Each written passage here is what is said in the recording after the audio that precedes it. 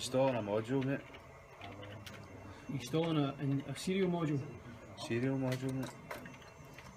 a highly technical skill required.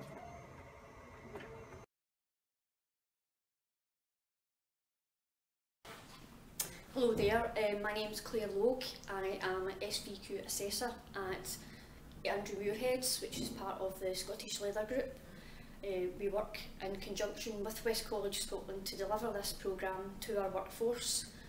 The value of the SVQ2 allows people who've perhaps been doing a job for many numbers of years to show um, their competency um, and the fact that they, are, they have they are capable in kind of practical terms of carrying out a certain work activity and that they've got the knowledge and understanding behind the reasoning for this. My name's Craig Blackburn.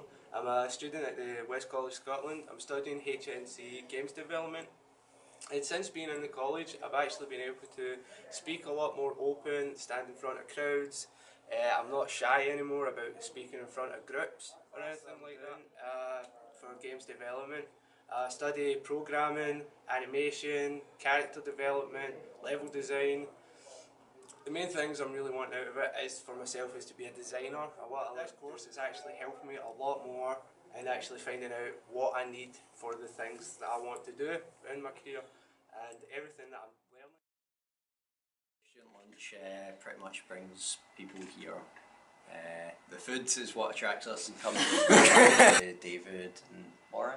Yeah. Yes, a guest. Uh, in regard, in regards to sort of how the college is running things and where we could go after college, it means we can feed feedback.